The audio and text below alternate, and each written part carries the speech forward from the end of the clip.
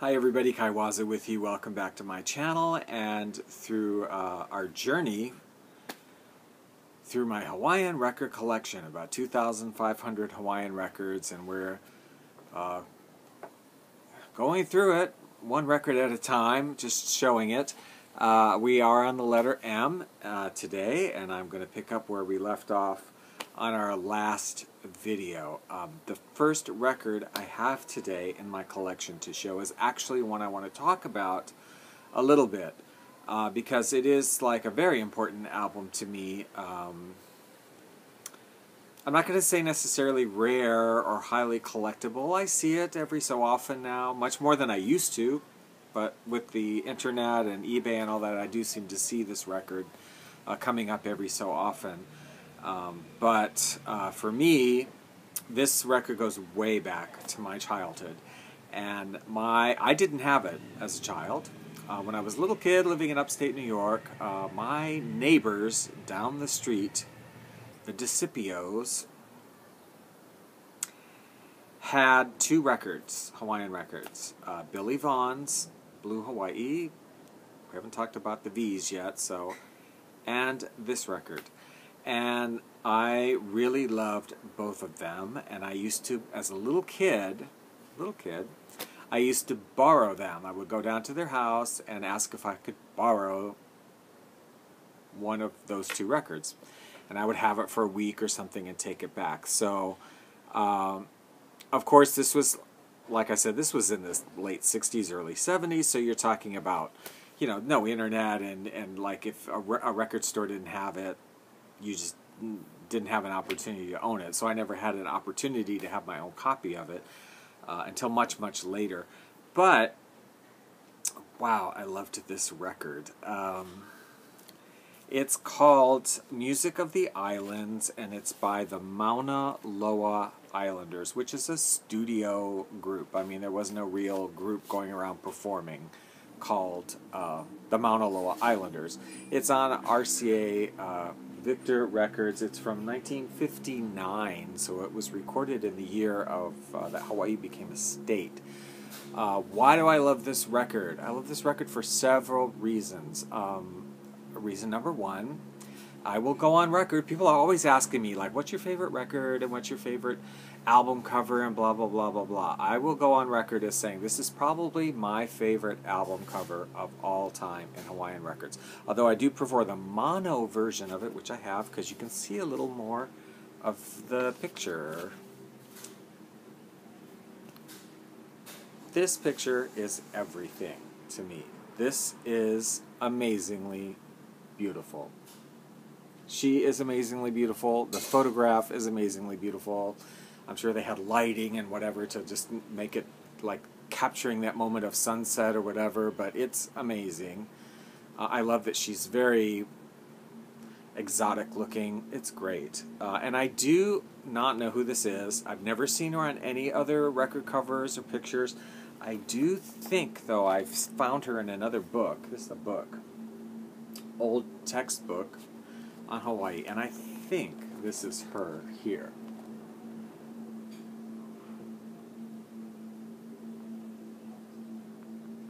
What do you think? You think so? I think it is. You know, looks a little different, but the hair, everything, I think I think it's her in a different setting. Anyway, the other reason I love this record is because it is amazing music. it's amazing. Not one, not two, there's three steel guitars um, in this group, and they have some whacked out, great arrangements and some very exotic arrangements um, a lot of reverb, which just makes the record have that sort of distant sound. There's so much good music on this record to me. This also would be a desert island disc for me. Love this record so, so much. Thank you.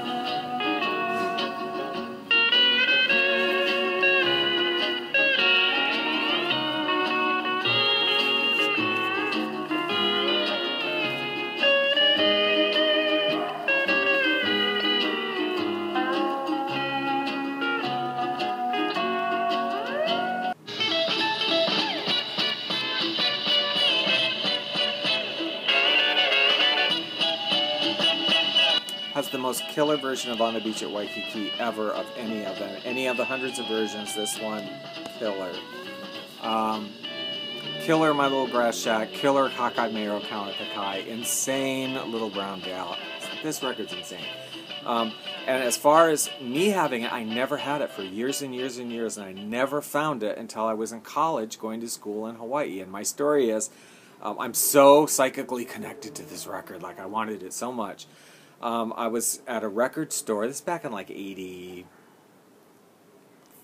83, something like that, at a record store that used to be on Kapahulu. It's not there anymore, and it was kind of underground. You had to walk down to a stairs. And one day, uh, and I didn't go to a lot of record stores back then like I do now, but um, I was standing on the top of the stairway. It was the weirdest thing. I was standing on the top of the stairway, looking down at the record shop. I couldn't really, I just knew it was down there. I couldn't see anything. And I had this feel, this total feeling just came over me. It was like, oh my God, Music of the Islands by the Mauna Loa Islanders is in this shop. I know it. I can feel it. I, and I walked down the stairs. It was the weirdest thing. Walked down the stairs into the door. Right, I had never been in that store before. Right to the Hawaiian record section. Opened up, just pulled back the records to the middle of the, the Hawaiian pile, and there it was. And it was twenty dollars, which is the most I had ever paid for a record at that point, and I got it immediately. Like, isn't that weird? It's so weird. Anyway, if you love steel guitar and exotic arrangements and kind of funky arrangements, this this album is cannot be beat. It cannot. Then they did. Okay, I've spent like the whole video talking about one record. Uh, then they did a follow up in 1961. Um, um, I suspect this actually was taken at the same session because I think that's probably the same shell and it's probably her whatever. But anyway, Hawaiian Punch. No. There's a couple songs that are good, but this one not nearly as good. And it's really the production. It doesn't have the reverb. It doesn't have the the distant Bali highness that the music of the islands has. This one was just produced differently, and it's just not as good. I mean, it's the same musicians. It is, but it's. Mm -mm.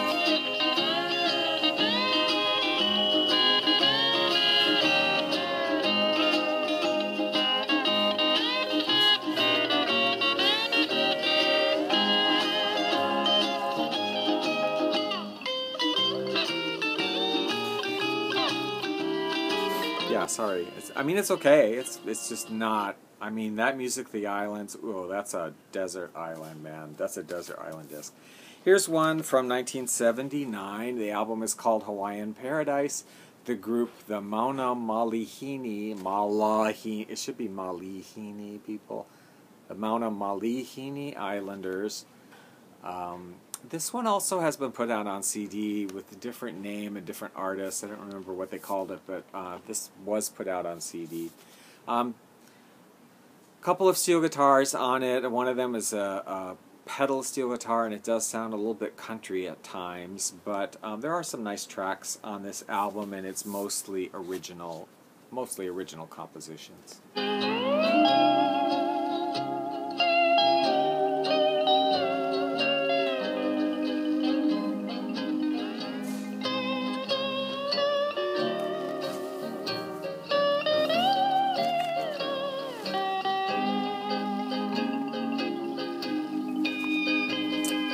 An older one on uh, CBS Records, but CBS Records out of uh, Germany? Germany, yeah. a group called the Maui Hawaiians. The Maui, it's not Die Maui Hawaiians in English. That would be so rude. Um, Von Havana, Bis, Hawaii. From Havana to Hawaii. Um, this is, I, I think it's all instrumental, yeah, if I'm recalling instrumental steel guitar and music. Very nice album. Um, like an older style, really pretty, nice steel guitar playing.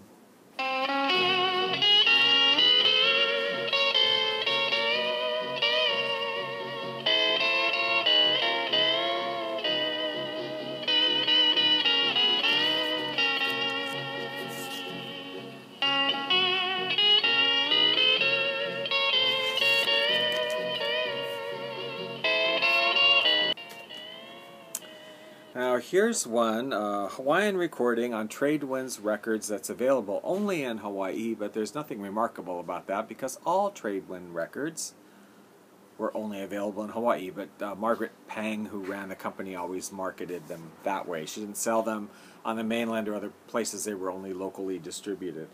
This is the Maui Hawaiians, and uh, it is combination of like some vocal and some instrumental. Um, these guys are all actually employees of uh, Pascal's Gray Line Tour Company, also known as the Pascal's Gray Line Troubadours, recording here as the Maui Hawaiians. And uh, they introduce on this album um, the accordion, which is an instrument relatively new to Hawaiian music at the time. And don't know that it was included in too much after this either.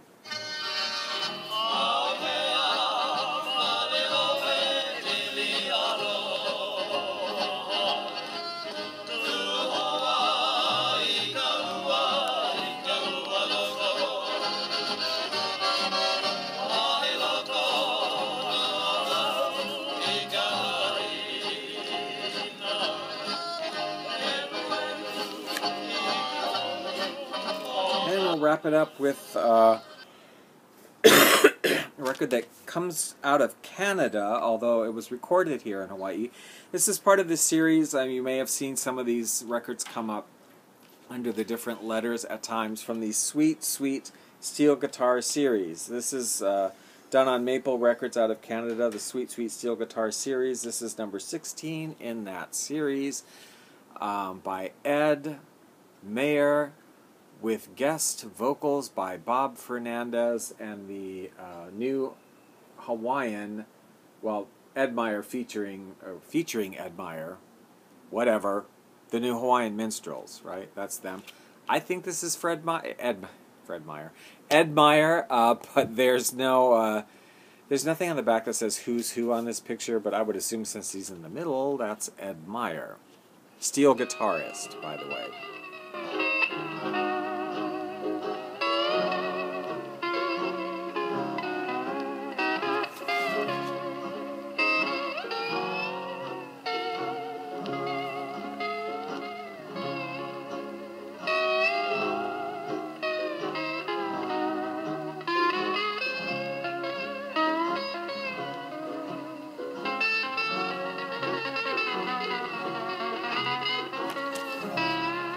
Was recorded in 1984.